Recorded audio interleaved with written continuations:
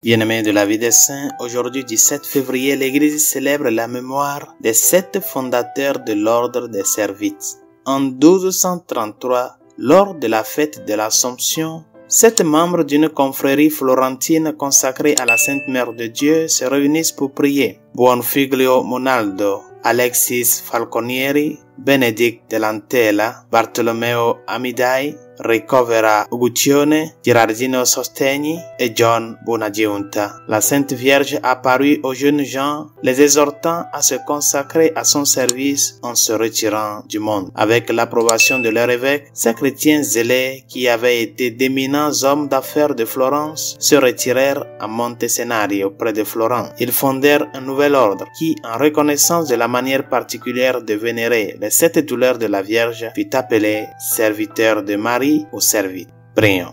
Seigneur, infuse en nous la piété de ces bienheureux frères, par laquelle ils vénéraient pieusement la Sainte Mère de Dieu et conduisaient ton peuple vers toi. Par Jésus le Christ, notre Seigneur. Amen. Les frères fondateurs de l'ordre des servites, priez pour nous. Tous les saints et saintes de Dieu, priez pour nous.